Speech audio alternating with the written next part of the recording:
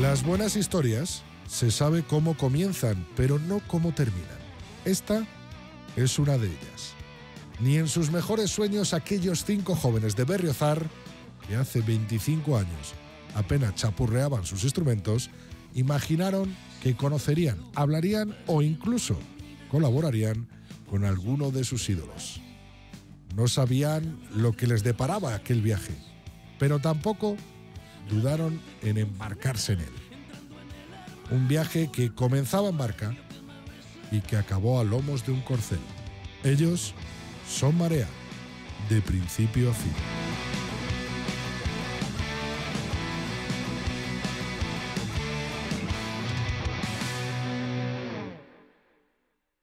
Marea es mi familia, son mis hermanos y, no sé, es estar en el local con ellos y es como tú tienes tu vida pues con la, con la pareja, con las hijas, con todo, pero te metes en el local y con los con mis hermanos, para mí son mis hermanos y digo, hostia, estamos más a gusto que mandar Dios a él.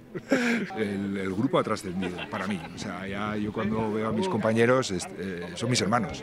Entonces es una cosa que ya va más allá de lo musical. Va más allá de lo musical. Entonces ese sentimiento es muy difícil definirlo, pues porque ya no siento ni hago música. Es como, como que quiero estar con ellos, es como tu padre, tu madre, tus hermanos. Y, para mí eso es lo más grande, que es lo que creo que ha hecho Grande Marea también, ¿no? Ese núcleo, ese núcleo duro que somos, que, que nos entendemos perfectamente, que sabemos lo que hablamos, nos respetamos, nos queremos, estamos para lo bueno, pero estamos, lo más importante, antes para lo malo. ¿Sabes? Cualquier cosa que tengas en la vida, cualquier problema, no tienes más que levantar el teléfono, a Cuchi, a Len, al Piñas, a César, y yo sé que en dos minutos están ahí. Y eso para mí ya trasciende lo musical ya. Marea, pues ya, ya te lo he dicho muchas veces, Rodri, que tú y yo nos damos vuelticas por ahí. Pues Marea es mi vida. Todo lo que soy todo lo que he hecho en mi vida es gracias a Marea. Y gracias a que un día nos juntamos y que seguimos juntos. Todo, Marea me ha permitido hacer todos mis sueños y, y los que me quedan, ¿no? Eso es, y espero estar yo en alguno de ellos. Es, bueno, ya sabes, ya sabes que estás en todas las celebraciones, cabrón. Joder, yo ya, tú date cuenta que paso más, o sea, tengo 47 años y llevo 25 con marea. O sea, llevo más años con marea que sin marea, ¿me entiendes?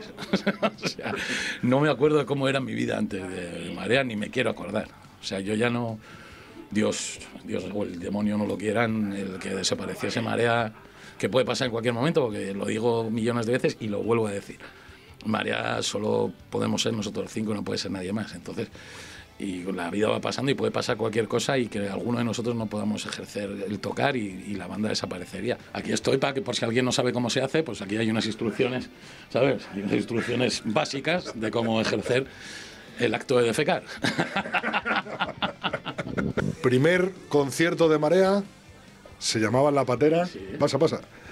Y este es el cartel del bar, luego iremos a echar un cafetito a la herría, que siga abierto. Pues mira, 29 de mayo del 98.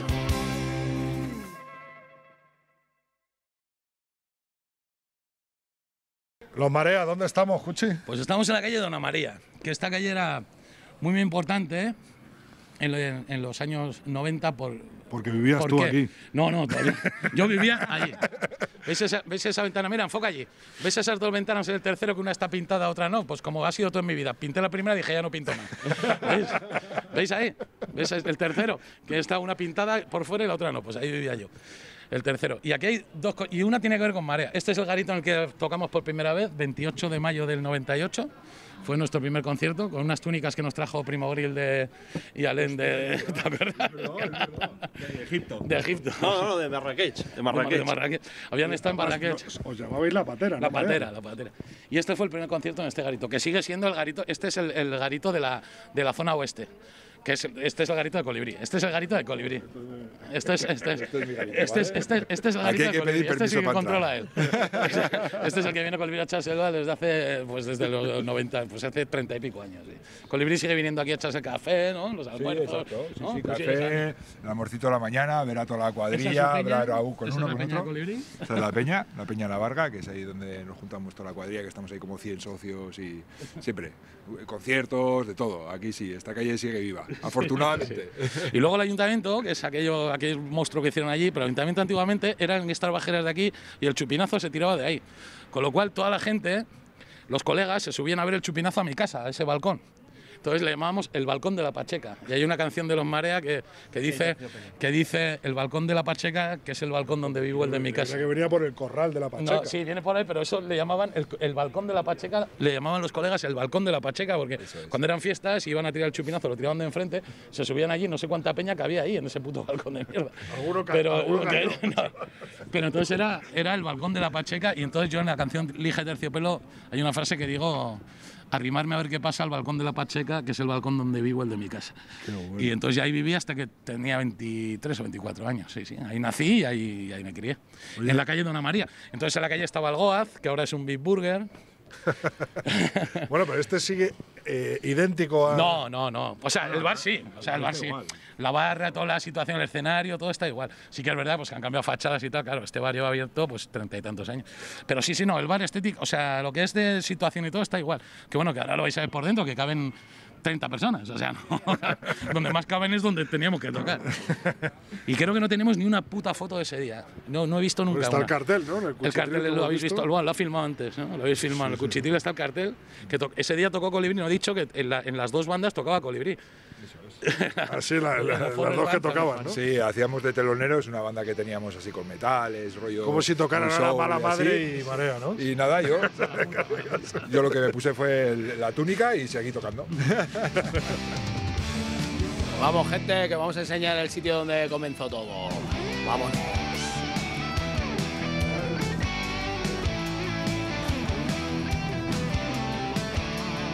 Aquí estamos con los Marea pisando el primer escenario que les vio nacer, que les vio crecer a estos tipos de Berriozar y el Piñas. Yo no he crecido, no he tanto, pero bueno. Primer escenario donde Marea tocó su primer concierto. Gucci, vente para acá. A ver, cuéntame. Eh, era la patera, eran tiempos de la patera. y este escenario vivió seis canciones, no tenéis más de Marea, ¿no? Seis, seis, seis. Yo creo que estoy casi seguro que eran seis, ¿no? Como seis, seis. Que ahí tocamos las seis y, y volvimos a tocarlas otra vez. No sé si las tocamos tres veces, pero bueno, dos seguro. Y, y aquel día era como nuestro estreno, entonces estaban pues eso, todos los colegas. Ya ves que es un bar que no, no caben muchas personas. Bueno, ahí arriba, tal, no sé cuánto, pero bueno, esto estaba como, como claro, todo el pueblo, todo el pueblo aquí. ¿no? O sea, Pendiente de ellos. pendiente de- del asunto. Además, aquel día es, está, es una pena y también es una alegría que no haya ni una foto de ese. Bueno, tenemos el cartel que lo habéis visto antes, lo tengo guardado. Pero nadie, o por lo menos que sepamos, por si alguien escucha eso y tiene una foto de ese día, que nos pues salimos a tocar con unas, con unas chilabas, que porque Alena había estado en Marrakech, si no mal, mal no recuerdo. Alen, Sí. bueno, cupo, lo primero cupo la batería Sí, sí, sí. sí. Sí, sí. y, y- Bueno, y cupo la Forest Band, que era la banda de Colibrí que tocó también ese día, que eran 14. así. Sí, sí. Ellos eran un montón de peña, metales, piano, eh, armo- no, armónica también, no, eso, no sé, mogollón de peña. eh, Piñas, aquí fidelizasteis esos 40 que luego se iban a ver. No, ese día eh, se de una quería ir grupo, se quería ir, que te lo cuente. ¿eh? Sí, aquí estaba, me cago en Dios, no me movía ni, ni el pelo se me movía aquí. Más tieso que. Sí, sí, era hostia, era el primer bolo. De, llevamos seis meses o cuánto llevaríamos todo. Sí, sí, sí, sí. Era complicado. Piñas, que, ¿cuál fue el setlist? Trasegando. Pues no sé, pero lo podría decir seguramente. Estábamos, dudando- estábamos du- a- hablando ahora mismo César Piñas y yo, a ver si nos acordábamos, porque sabíamos que iba a caer la pregunta. Y si tocamos seis canciones, nos faltaban dos para hacer el primer disco. pero no. Ya, pero yo creo que encima ¿Malfario? tocamos una canción que era Malfario, que no salió. Que no salió, Que no ¿no? salió. ha salido. Y- pero yo creo que la ha salido. tocamos. Estábamos Está- discutiendo está ahora. grabada en la plaza de Guski que la tocamos en fue el Alfario. segundo. Se me agarrotó el brazo. ¿Recuperaríais Malfario para alguno de los discos? Eh, ahora igual sí, antes se me agarrotaba el brazo y sí, No, no la grabamos porque el piña se le agarrotaba el brazo y se, era un poco rápida y se le quedaba el brazo atrancado, entonces no pudimos grabar. Se me decía, iba llegando, iba llegando y buah, que viene, que viene, y buah, y el brazo, se me quedó ese paranoia ya. O sea que, que al final era el germen del primer disco de, de Marea. totalmente. Decía sin lija y terciopelo, que todavía no estaba compuesta, ¿no? No, porque esa la hice eh, cinco días antes de entrar al Y estudio. otra duda que tengo que no sé si tocábamos el Luis, pero creo que el No, primer no, concierto no, no, no. que era una versión de mala fama de un grupo que le gustaba mucho a Cuchi. Sí, la de Luis ya fue en el siguiente disco. Camarón, tengo yo hasta recuerdo, sí, camarón de fijo, porque era, tan, tan, tan, era un ritmo ahí rarillo y estaba yo también ahí Trasegando, bailando. despellejo, trasegando es la primera que hicimos, esa seguro, camarón, ta- Quejíos también. quejíos también. No quiero ser un poeta. No quiero ser un poeta, que la abuelita, no sé, yo creo que. Yo creo que no. Ah, sí, Nos no faltó tocamos la de Figure. seguro, porque es la última que hicimos para el disco. La última, la última que hicimos para la patera Fue el tercio. fue Lija. Esa se- seguro que faltó. O sea, de las que seis que tocasteis aquí, la que perdura es trasegando. De la que perdura es. En los directos, digo, bueno. En los directos, sí, porque es una canción guapísima. Y marea, claro. Y marea, sí, sí. Y marea. Los bolos era la hostia porque era como camarón, decía el cuchillo. Bueno, girábamos del Cesario al colibrí, era como, ¿esa cuál es? ¿La de pam para para o la de pam para para para? ¿En qué punto es? ¿En qué punto es? ¿En qué punto es? Bueno, veniros por acá, vamos a hacer la foto oficial. A ver, ponme el micro ahí. Ponme, ponme el micro ahí. Donde los Marea iniciaron su andadura. Este es el primer escenario que pisaron estos cinco tipos que tenéis hoy en Rock FM. Colibrí, Cuchi, Piña, César y Alén. Aquí estamos en Berriozar.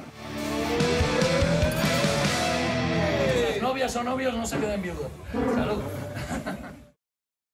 Bueno, bien, pues llegamos desde Lerría, ese sitio mágico para los Marea que nos han mostrado y que se han vuelto a subir después de su primer concierto, los cinco juntos, por primera vez, después de 25 años, justo, ¿no, Cuchi? Más o menos. ¿En qué día estamos hoy?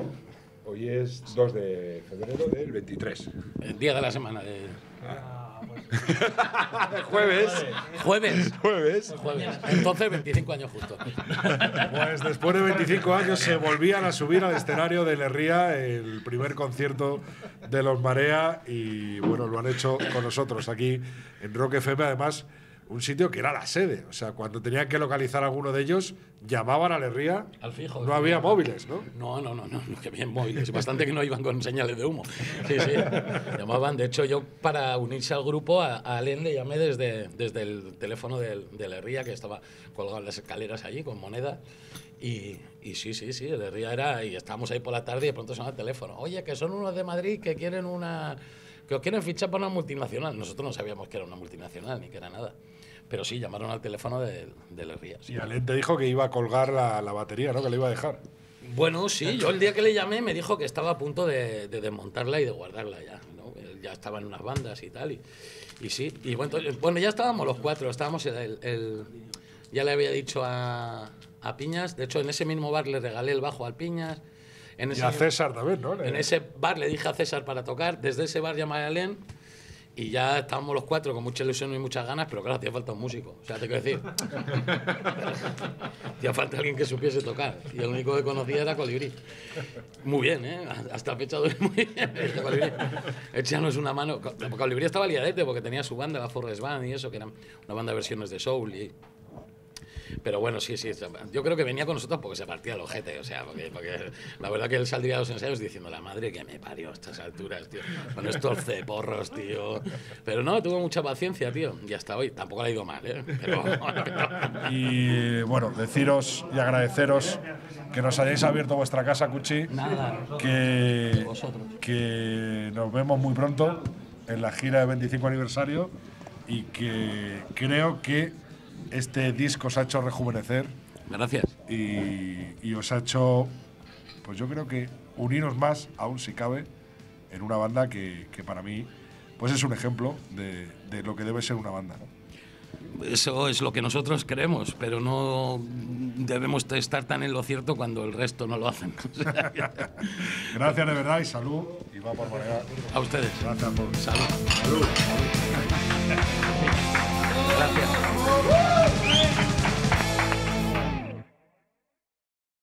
Siempre me quedará, de aquí a que me muera, pueden ser con marea todos los días malos y no superarían nunca todo lo bueno. O sea, que, que, que con ello me voy a ir a la tumba, vamos. Yo quiero que, me, que mi tumba ponga que fui el cantante de marea. O sea, que eso es lo que quiero que ponga. Cuchi Romero, cantante de marea.